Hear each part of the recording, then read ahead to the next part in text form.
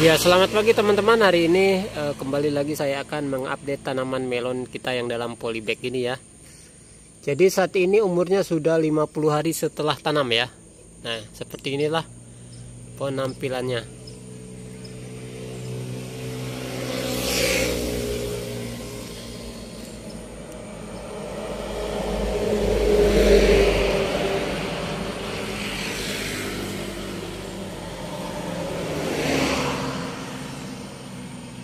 Jadi ini melon yang berjaring atau bernet lagi pembentukan net.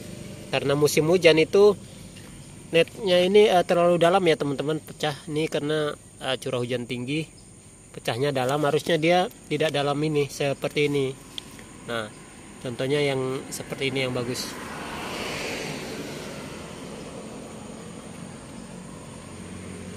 Untuk bobot buah sudah kita dapatkan teman-teman Tadi malam ada yang jatuh di sini ini. Uh, lepas dari tangkainya teman-teman tidak kuat menahan buah jadi lepas buah yang jatuh tadi sudah uh, saya timbang Sat, uh, sudah mencapai 1,5 ya bagi teman-teman mungkin juga yang uh, seumuran tanaman melon dalam polybagnya dengan saya ya jadi di umur 50 hari ini untuk perawatan saya sudah tidak ada lagi teman-teman baik penyemprotan ataupun pemupukan ya. Jadi sudah dilakukan semuanya.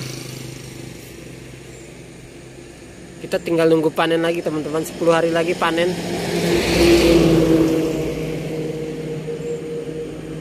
Jadi jangan khawatir daun-daunnya ini uh, rusak karena buah pun sudah mau panen ya. Jadi biarkan saja kalau misalnya ada jamur yang masuk Terakhir pupuknya yang sudah saya ceritakan kemarin itu pakai KNO putih ya. Tidak ada lagi pupuk-pupuk lain.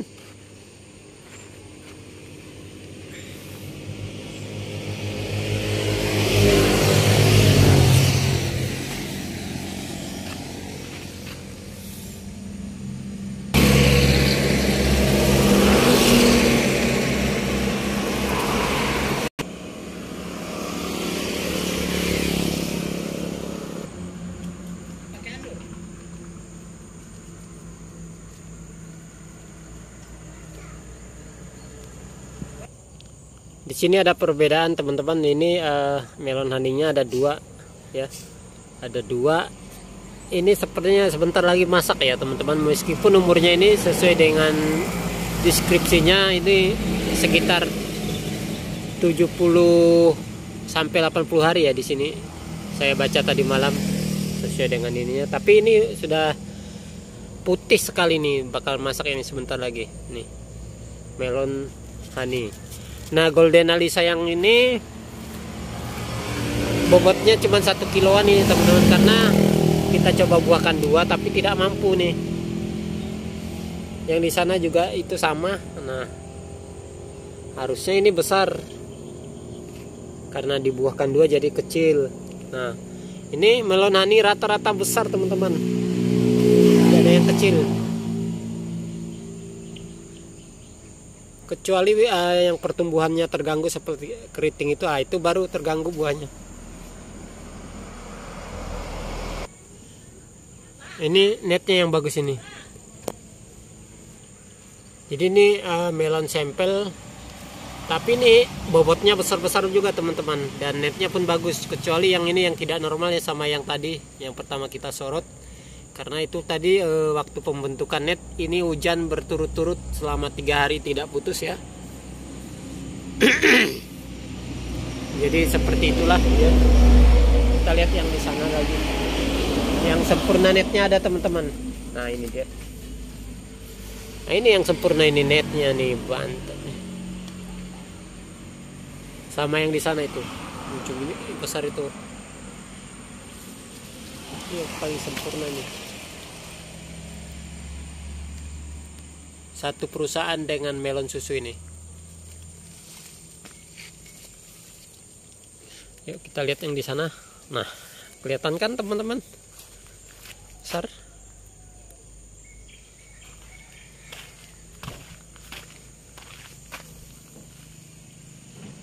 Ini yang tidak normal pohonnya nih teman-teman. Nah, kalau yang ini normal besar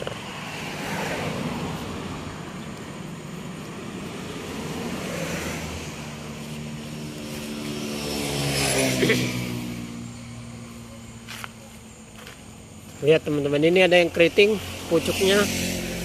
Tapi ini buahnya dua. Uh, saya coba ini. Sepertinya buahnya normal.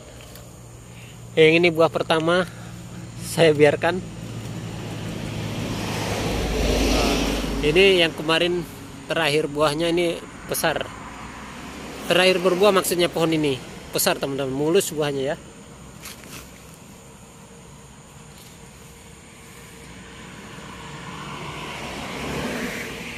Jadi kesimpulannya pertama kali nanam hani ini saya tidak kecewa buahnya langsung besar-besar tapi nanti kita cek rasa lagi ya. Kalau Golden Alisa tidak asing lagi karena saya udah sering kali nanam Golden Alisa khususnya di polybag ya. Tapi langsung di tanah saya belum pernah cuma waktu itu pernah tapi mereknya uh, Leoni ya. Nah, untuk langsung ke tanah buahnya pun sangat besar-besar.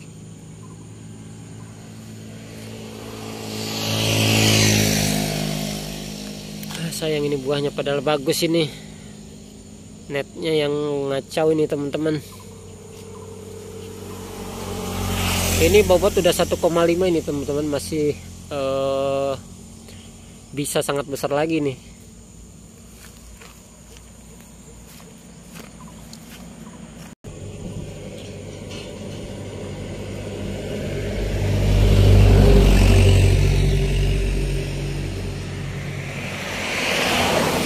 jadi perhatikan teman-teman uh, di umur 50 hari ini daunnya masih segar bugar.